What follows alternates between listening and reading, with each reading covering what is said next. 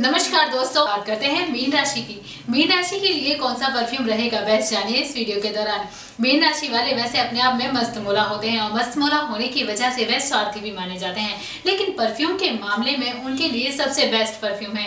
यानी कि रात की रानी की फूलों वाले परफ्यूम को सबसे ज़्यादा बेस्ट माना जाता है। यदि मीन राशि वाले अपने जीवन में सफलता चाहते हैं और अपने कैरियर को बढ़ाना चाहते हैं या फिर अपना बिज़नेस स्टार्ट कर रहे हैं तो उसके लिए भी आप कोशिश करें कि अगर पौधा लगाएँ तो इस पौधे की ज़्यादा सिंचाई करें। आप पौधा लगाइए, इस पौधे की सिंचाई करते जाइए और इस फूल से ही आप अपने जीवन में नया महत्व पा सकते हैं। हो सके तो इस परफ्यूम का भी इस्तेमाल कर सकते हैं। नहीं तो आप अपने जीवन में इनके ही फूलों की सिंचाई करते रहिए और जब तक आप करते रहेंगे, आपके जीवन में सफलता बनी रहेगी। आप अपने करियर को बढ़ाने के लिए या फिर अपने जीवन में, अपने घर को गृहस्थी में हमेशा सफलता लाने के लिए भी इस फूल का इस्तेमाल कर सकते हैं।